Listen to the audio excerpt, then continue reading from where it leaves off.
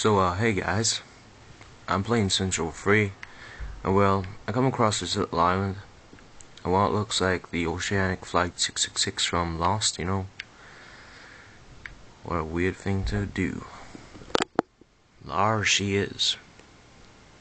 Now let's go back to my job. Oh, by the way,